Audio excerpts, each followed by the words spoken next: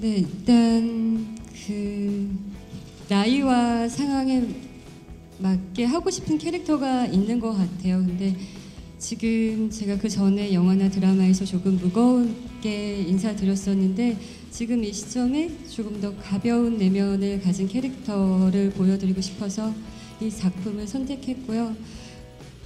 어, 저 또한 현장에서 제가 몰랐던 저의 모습을 발견하는 재미로 촬영이 재미있는데 또 거기에 그치지 않고 시청자 여러분들도 공감할 수 있도록 열심히 하겠습니다.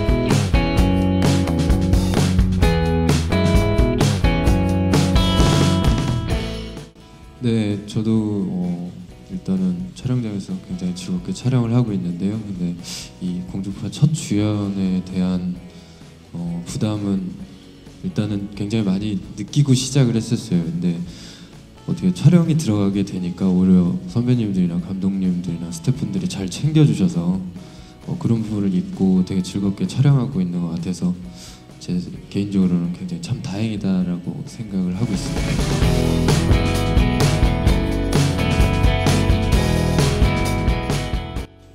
굉장히 좋은데요. 그게 모르겠어요. 어디에서 이렇게 편한 저희 자신감이 생기는지 모르겠지만 현장에서 굉장히 편하고 또 영광 씨가 다행스럽게 너무 잘 따라주고 애교도 많은 것 같아서 현장이 굉장히 즐거운데요.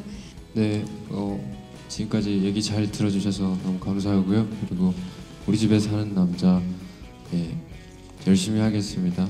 끝까지 봐주세요. Bye.